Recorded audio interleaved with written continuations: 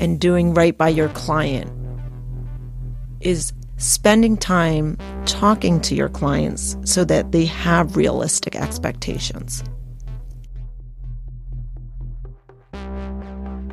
Host Melissa Rosenblum is one of only a few women certified by the Supreme Court of New Jersey as a criminal trial attorney.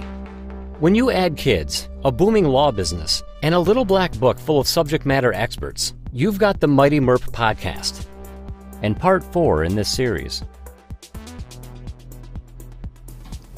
Yeah, it's de- it's definitely a numbers game. You have to ask 10 or 15 people before you even get a few not every single person is going to leave a review, and that's okay. That's why we ask the next person. Right. And but, I have clients that had a, or said that you know definitely, absolutely, and and as you said it, life gets in the way. So. Um, you know, I always say to my kids generally, this is going to go back to, I have all these sayings I say to my kids that I think, you know, apply to most life experiences, which is just ask the worst they're going to do is say no or they're not going to do it. But, but if, if, you don't ask at all, they're never going to do it. If you don't ask, the answer is no. If you do yeah. ask, there's that possibility. It's that potential of a yes, and uh, and so that's what I that's what we do here. Um, well, and you brought up an absolutely amazing practice that I think every attorney needs to be doing. Um, Melissa, how many free consultations have you given out given out over the years that that it never went anywhere. That person never hired you. Oh, I, I still give out 30 minute free consultations for every case. And it, uh, it creates it, a good a good atmosphere, a good you know, a good interaction. Um, and sometimes I say I can't help people. I, I don't I don't, you know, I don't take cases that are not in my line of practice. And sometimes I have to assist them in other ways of telling them, you know, their options, but it's not always hiring an attorney. And it still it builds goodwill, Austin. That's what it does. Absolutely. And you need to do that. And I think most most firms do offer that free consultation, but a lot of people look at that free consultation almost as a waste of time if it doesn't go anywhere. I look at it as the opposite. Every free opportunity or every free consultation is an opportunity to get a review. If nothing else, get a review. And that review is going to pay dividends down the road. So weaponize that free consultation. If you, at most great attorneys, will know within a few minutes if that's mm-hmm. actually going to turn into a case or not. If you recognize that, the first thing on your mind should be okay, I'm going to provide this person with a world class experience in the short amount of time that we're going to spend. Yes. And I'm going to make sure that I, I ask them for a review because those are the people that are most likely, in my opinion, going to leave a review because they probably knew that they never were going to hire you. Maybe they were looking mm-hmm. for free, or they just really appreciate your time that you spent with them. So they're going to be more encouraged to be, hey, I, I'm not paying this person, and I just, you know, did just take 30 minutes of their time let me do this for them. I'll leave them a review because they asked me. Yeah. So weaponize that free consultation. Absolutely, absolutely, and it is true. You know, um, I do know within moments. You know, within the first minute or two, it doesn't change my interaction, but you know, as you said it, you know, if I know that they're just trying to seek some general information, they had no intent of hiring an attorney. Um, I still will engage in the consultation, but you know, I want it to be a positive experience. I do want it to be a shorter experience than the uh, 30 minutes and want them to leave feeling good about the interaction. So if they can't, and I also say you don't need an attorney, but in the future, if you need someone to handle traffic tickets for you or your family members, please consider us in the future, you know?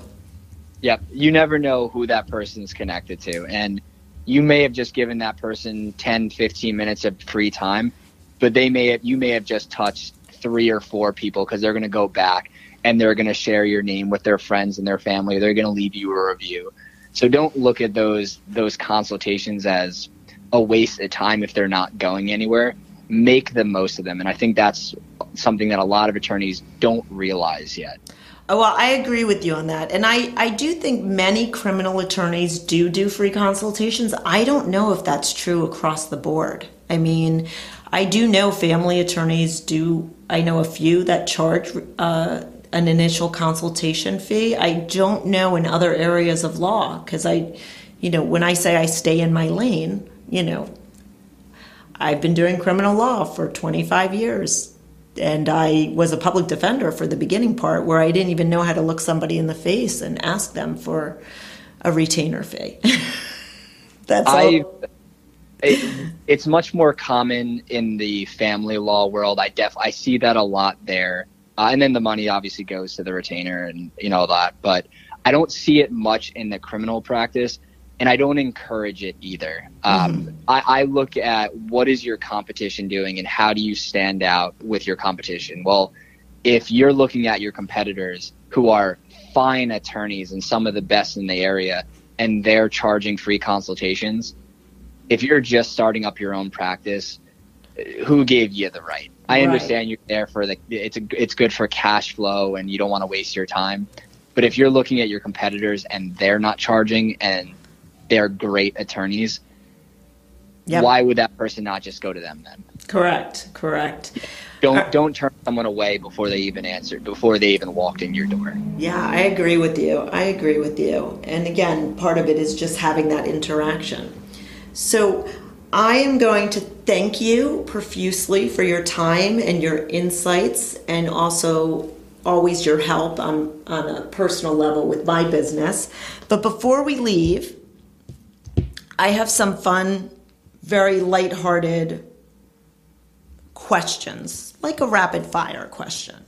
Okay, All right? I wasn't uh, ready for this. I know. I, I don't like to give you the heads up because it's more fun. So we're just going to go some easy things first. Uh, what books do you have on your nightstand, or what books do you are you reading right now?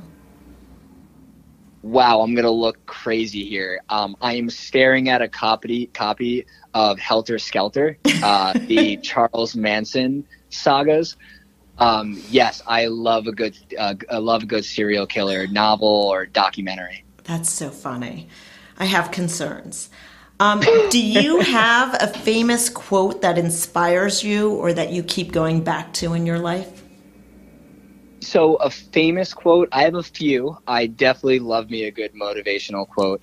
Um, I think one of the ones that has been with me since I was a child um, is um, that that which does not kill us makes us stronger.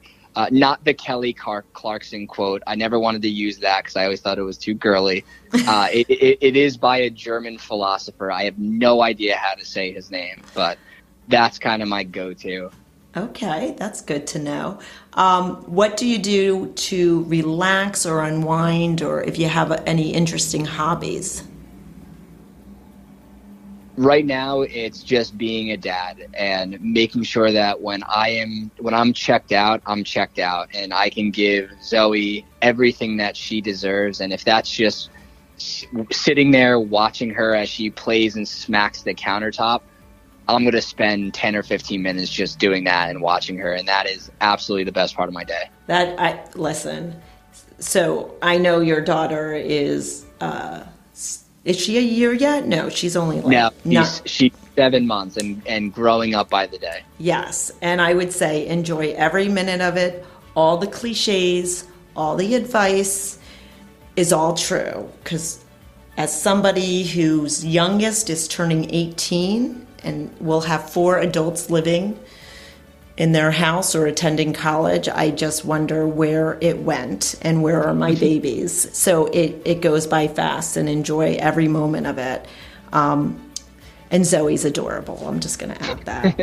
Thank so, you. and then my last question, which kind of goes back to our conversation generally, um, and I think you'll appreciate, is what is your favorite color? I just can't a- stop. we've talked so much about pink and your favorite colors. You've never asked me this. mm-hmm.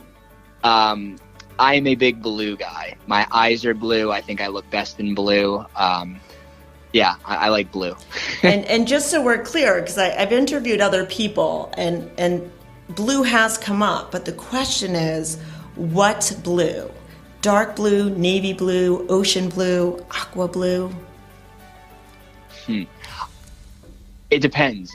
are we talking about like my clothes? If we're wearing clothes, I love like the the comfort colors. Mm-hmm. Those like that, like the dusty blue. I love Um, that you know what comfort colors are. Oh my god, they're, the, they're they make the best shirts. Um, yeah, the comfort color like reds and like that like kind of salmon color is always great. Mhm. But yes, I, I think like light light blue. Yep. Well, thank you again for joining me on the Mighty Merp podcast, and hopefully, our listeners and audience will appreciate that uh, detailed discussion about advertising and marketing. This was fun, Melissa. I appreciate you inviting me on. This was a this was a really good time. We hope you've enjoyed this series. Don't forget to subscribe, because before you know it, we'll be back with another great conversation. Mighty Merp is available on iTunes, Spotify, and all your favorite apps and players. But the best way to experience the show is to visit mightymerp.com. That's mighty, M E R P.com. Mighty Merp is a production of the Law Office of Melissa Rosenblum and the Niche Podcast Network.